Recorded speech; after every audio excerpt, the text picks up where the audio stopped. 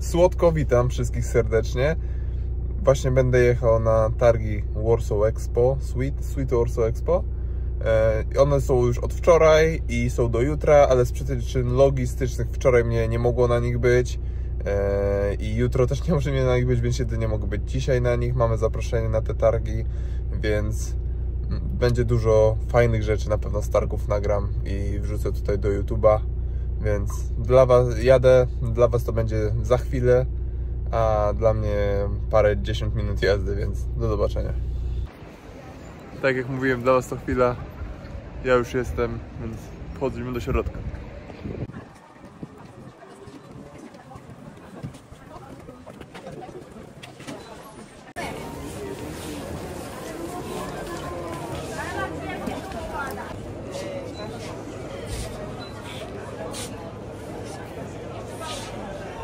Jeszcze bazy deserowe, czyli śmietanka to jest na przykład to jest e, mus czekoladowy, creme brulee, mam jeszcze pana kotę, parfę. Teraz tak, to, to przez y, bezpośrednio od Wszystko.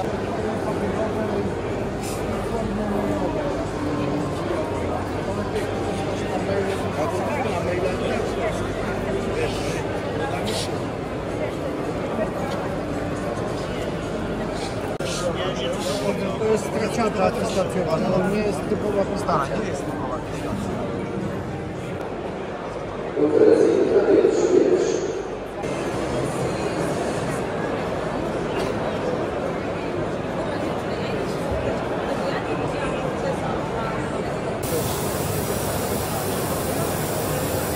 Mamy wpływ na wentylator, jeśli to wyciąga, wiesz, tam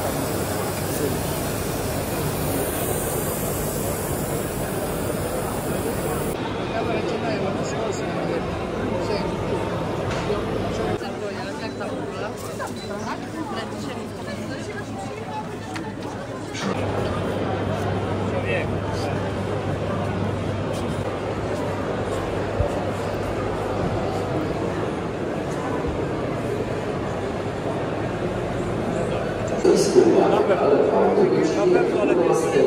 A wiesz, że to jest...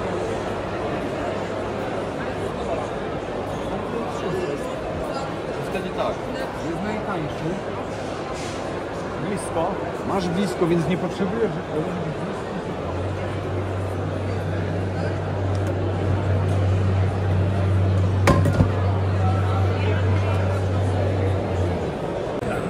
To jest najważniejsze. O tym złotówkę. Momencie dał panu po prostu słoiczek, ale no jak trzeba będzie jakąś tam próbkę po prostu to jadę na miarę i wtedy e, może, mo- możemy po prostu się mówić tak, że Wy gdzie jesteście? Kujawsko-Pomorskie pod e, Brodnicą. A tu je macie jakieś przedstawicielstwo w Warszawie? Ja na Nie może być. Niemcy zostawili sobie tam chyba z pół procenta, że może być i inaczej do tego podchodzą, a u nas zawsze święci od papieru. No właśnie, i ja właśnie e, ostatnio to jak kawę w jednorazówce, no to trzeba nabić 20 groszy. 20 od kawy, tak. Nie, i, i, ale przysłała mi jakaś firma, sobie tam zostawiłem, że mają z ryżu, że z jakieś tam... E, Tylko zobacz sobie, jakie są ceny tych opakowań No, i czy to. Ci się w ogóle opłaca, dlatego że e, Wy i tak mając cukiernię, to w BDO jesteście już zarejestrowani, prawda? I musicie raportować. I teraz tak, moim zdaniem to trzeba, bo tu, to tak jak Orlen, podajesz y, podatek SUP i klient widzi, że to on płaci podatek jakiś. Nie wiem, czy to ma sens brać na siebie. Tak, mówię zupełnie tak, wiesz, no. mimo wszystko. Jak ja popatrzyłam za zeszły rok, bo jeden z klientów poprosił o zestawienie, to on by już, no nie ma za zeszły rok opłaty, ale gdyby była opłata za zeszły rok, to to wychodziło nie w lodziarni małej. Eee, robimy 10-20 sztuk eee, takich próbek wzorów, które do Pana trafiają, tak? Jeśli Pan akceptuje ten rozmiar, wzór, ceny i tak dalej, no to możemy dopiero się zacząć jakby produkcją wielką seryjną i zrobić więcej. Tak? Znaczy, no wie pan, ja jestem mały cukiernią, więc sobie tam patrzę takie właśnie, bo teraz te modne zrobiły się serniki baskijskie, nie? No, ale to musi być wyższy, nie? Bo to to bukiki, nie? I to przynajmniej... wielkość lota. Przynajmniej drugi taki na ten, nie? No w sumie to ta wielkość, jej papierek, żeby ta furo się nie siada, żeby... To, czyli to by było, to jest w ogóle jako wielorazowe. Nie, to jest y, Jednorazowe. tak, tak y, jednorazówka i to Pan sprzedaje w całości. A. Tu Właśnie chodzi o to, żeby klientowi sprzedać y, razem z- całość, tak? razem z opakowaniem, Razem tak? z opakowaniem, tak? Żeby zrobić swoje logo, opakowanie, żeby było coś, A to nie głupi pomysł. coś nowszego, coś ciekawszego.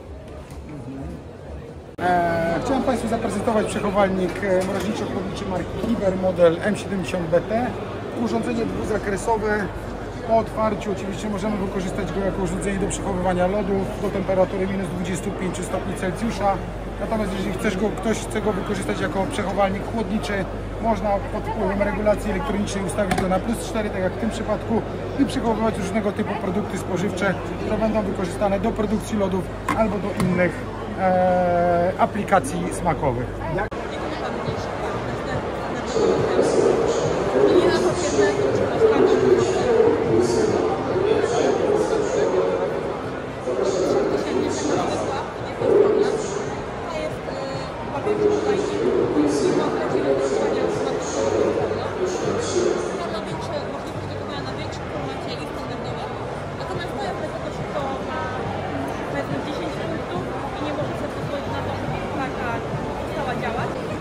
Tak wygląda już na ekspozycji. Wyglądają całkiem, naprawdę całkiem ładnie. W różnych kolorach, z cenami. za godzinkę. Spokojnie, będzie. Tak chciałbym coś do kawy po obiedzie.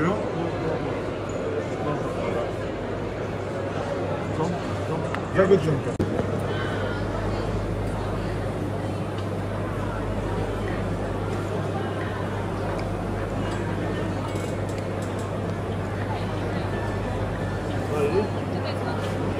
Jak ta? Tamto lepsze. Tamta lepsza? Wydaje mi się. Tak? No to są targi, żeby teraz tylko próbować.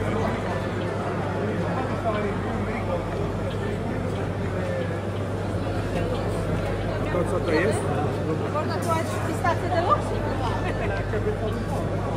Mandarynki. Dzięki. Ale zobacz jak niewiarygodnie to zmienia smak. Bo mandarynka daje Ci orzeźwienie, smak. To jest sorbet. To jest w ogóle kompletnie odjechał, a pistacja cały czas ta sama.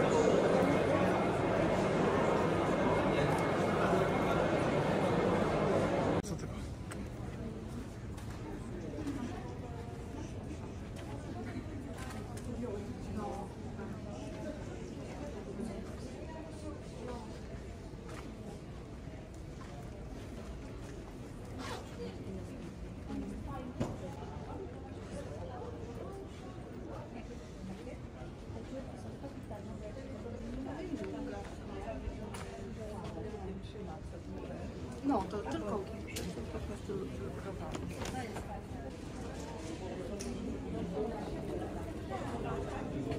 Tak oto kończymy. Drugi dzień targów, dla nas pierwszy i niestety ostatni. Jesteśmy już umówieni właśnie z jednym z, z, z, naj, z największych specjalistów w Polsce dotyczących lodów, e, który właśnie całe życie poświęcił temu, żeby produkować dobre lody.